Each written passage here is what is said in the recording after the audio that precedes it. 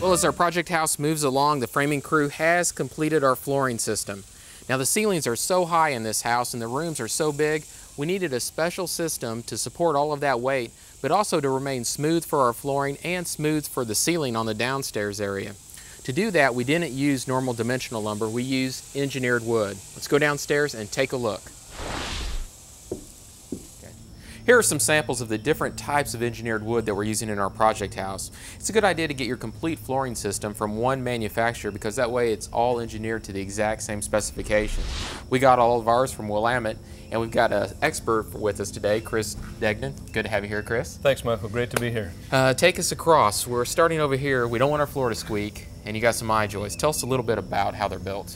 Exactly. Starting with the I-joist, Michael, uh, this uh, floor framing product is uh, starting with a, a, highly engineered OSB web product in the middle. So it's oriented strand board? Yes. Mm -hmm. Okay.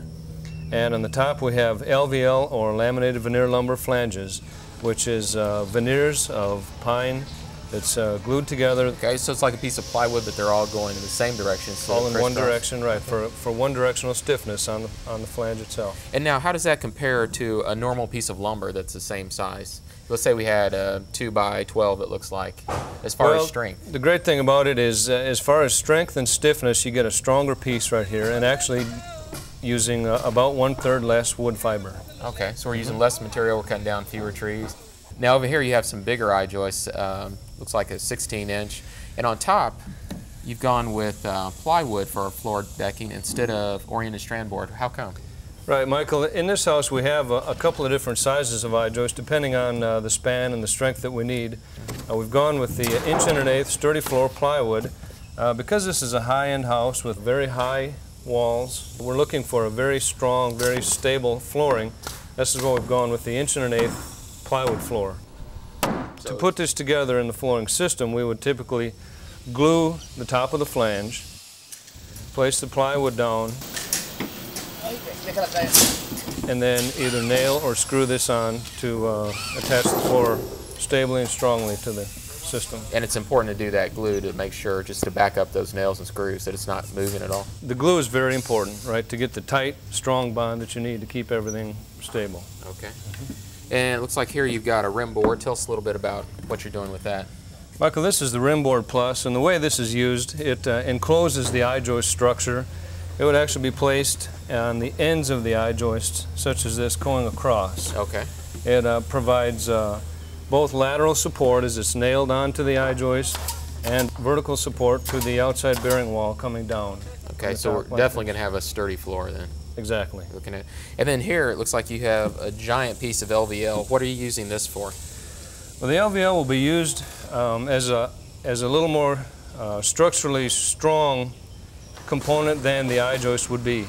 Um, you may use a piece of LVL in place of an I-joist in your flooring system if you have a uh, load-bearing wall above it and you need the extra strength that the LVL will give you over the I-joist. Okay, so if we have a room right above our second floor there and the wall sitting there and that goes all the way up to maybe the roof or or is supporting that, the house That would weight. be a good example of a place where LVL could be used. Okay, that's what we're going to use. Right. And then you've got the monster. You got the Glulam. The Glulam beam. Okay. Uh, manufactured in many different sizes, um, very dimensionally stable. We're able to get a stronger piece of lumber uh, than we would out of a single piece of lumber this size. The stronger laminations are going to be on the top and the bottom of these beams, carrying the load um, as, it, as it would tend to pull down or up, depending on how the load is in the house. Yeah. Um, where we get um, longer spans of the I-joist, we would have uh, the uh, line beam in between hanging from uh, the I-joist would be hanging from the glulam beam, uh, supporting intermediate spans of the I-joist. Okay, well that's going to make for a very strong floor. Let's actually go in the other room where we've got some samples of all this built into the house. Great. Well, Chris, we have a huge room here, and I see you've got the I-joists all the way across to support all that weight from upstairs. Right, Michael. This is a great example of uh, the advantages of the I-joist engineered wood flooring system.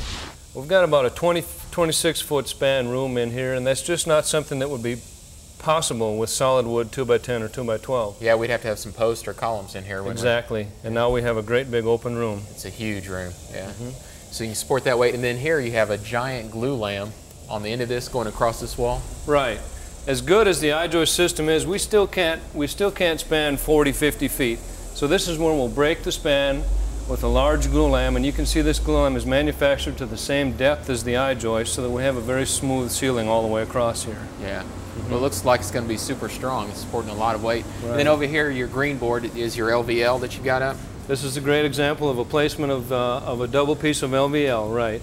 And what we would have above there is a bearing wall in the, uh, in the living space above. Upstairs, okay. So we needed that instead of the I joist, at that one position. Exactly. Even though it looks like a uh, ceiling, it's actually a floor, isn't it? It's actually a flooring system supporting uh, living space above, that's right. Well, thanks for the help. I'm going to run upstairs and check out that Great. floor. Thanks, Michael.